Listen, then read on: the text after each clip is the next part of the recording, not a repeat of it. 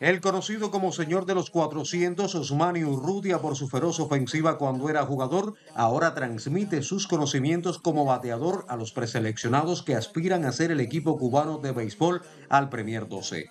Dentro de esa preselección, en busca de un cupo a la competencia, aparecen los también tuneros Rafael Viñales, Josmani Alarcón, Roberto Sullivan Baldoquín y Denis Peña, que ya se preparan en el Estadio Latinoamericano de la capital cubana. La alineación regular del equipo Cuba que participará en la tercera edición de este evento será un agradable dolor de cabeza, declaró a Prensa Latina su director Armando Johnson. Según el timonel, se les dificultan algunas posiciones por tener a varios atletas capacitados para defenderlas, pero confía que se actuará con justeza y entre todos concentrarán soluciones y lo harán de la mejor manera posible. Para Johnson es algo novedoso y muy difícil trabajar con el grupo incompleto, sobre todo por la ausencia de algunos atletas que tendrán gran protagonismo en el equipo y que permanecen jugando en ligas foráneas.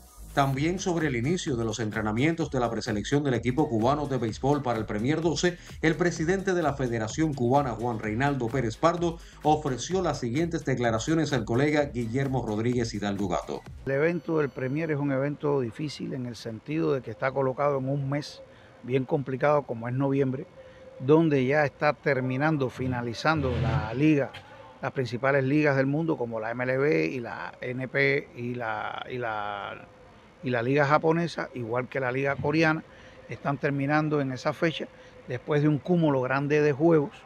Esto también impide que muchos jugadores participen porque a este cúmulo de juegos los clubes la mayoría de las veces lo declaran en fatiga extrema, tienen, se dedican a hacer tratamiento médico, en fin. Y tampoco está protegido por la Confederación Mundial de Béisbol y Softball los atletas que están en la lista de 40, en el roster arriba. El próximo 10 de octubre quedará confirmado oficialmente el conjunto cubano que nos representará en el Premier 12 y unos días después saldrán hacia Corea del Sur para efectuar varios partidos amistosos. Esperamos que los cuatro tuneros puedan hacer el grado a la competencia.